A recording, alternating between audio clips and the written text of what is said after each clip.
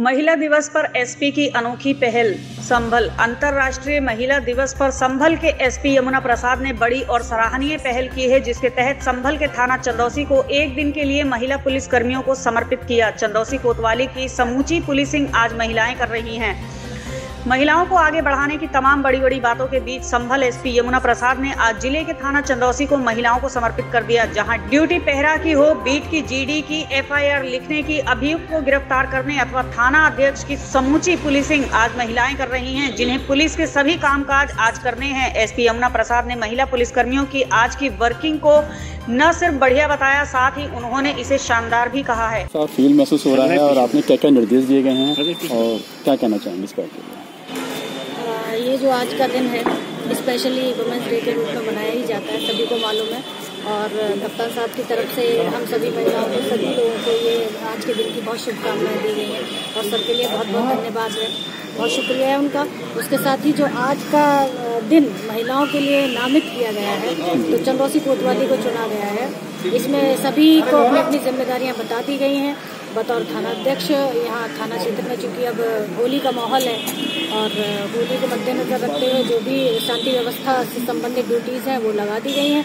होली हमारे यहाँ क्षेत्र में चौवन जगह पर जैसे होली का दहन होता है, उसकी ड्यूटीज़ भी लगा दी गई हैं। सब इंस्पेक्टर और कांस्टेबल गार्ड्स ड्यूटीज़ अपने अपने पॉइंट पर हैं।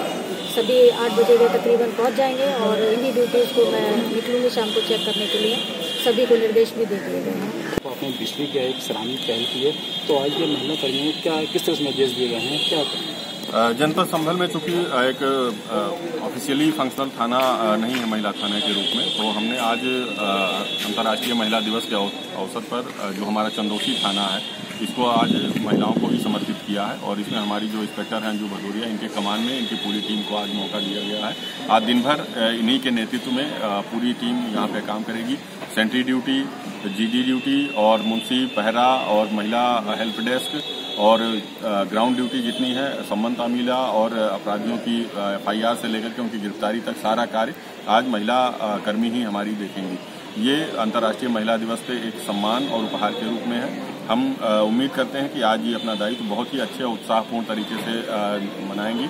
और यहाँ पे अभी देखने में जो आया सभी से बात करके, वो लगा कि वास्तव में ये एक अच्छी पहल है, क्योंकि इन्होंने जो प्रदर्शन किया, यहाँ पे साफ़ सफ़ाई के रूप में, अपने दायित्वों के निर्वहन के रूप में, एफआईआर काटने के रूप में वो बहुत ही अच्छा उच्च कोटि का प्रदर्शन है। और आज पहला अपराध भी महिला संबंधी अपराध है, और उसमें ये लोग आज दबिश देंगे कार्रवाई भी करेंगी अरेस्टिंग भी करेंगी और सभी लोग प्रॉपर तरीके से पुलिसिंग आज जो एक कोर्ट पुलिसिंग होती है, उसमें महिलाओं के द्वारा आज प्रदर्शन किया जाएगा। ये पूरे दिन ये कार्यक्रम रहेगा। इनको समर्पित अंतर्राष्ट्रीय महिला दिवस पे मैं इनको ढेरों शुभकामनाएँ देता हूँ। आपके चैनल के माध्यम से सभी बहनों, माताओं को, सभी को अंतर्राष्ट्रीय विमेंस डे की ढेरों शुभकामनाएँ और उनको हार्दिक बधाई। महिला सशक्तिकरण के रूप में एक पुलिस प्रशासन कैसे कार्य कर सकता है, एक उदाहरण के रूप में भी हम उनके समझ प्रस्तुत कर रहे हैं।